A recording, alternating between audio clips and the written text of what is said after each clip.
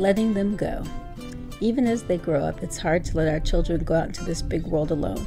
But I knew letting my daughter participate in a one month internship in Valencia, Spain would be very beneficial. There are many reasons, but I thought I would give you my top five.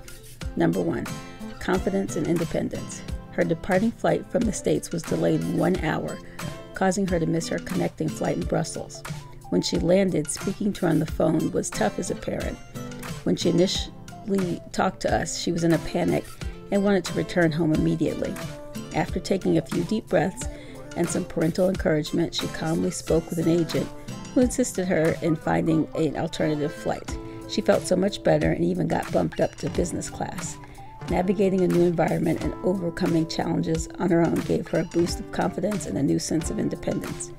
Number two, adaptability. She quickly learned to adapt to the new situation and deal with changes become more resilient.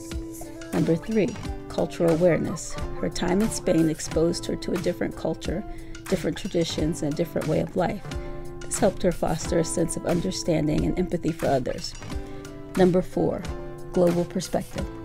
Her being in a different environment helped her develop a broader and more informed worldview. She now has a better understanding of how big this world really is and how different communities navigate life. And finally, number five, the education. Experiencing Spain for a month has helped her understand and appreciate its history and geography in a very interactive way. Her Spanish and confidence to speak it has greatly improved. So, overall, it was a fantastic experience and a wonderful learning opportunity. She enjoyed it so much that she cannot wait to return, and we have all the confidence that she will excel. If you had the opportunity to experience another country for a month, what country would it be? Let me know down in the comments below.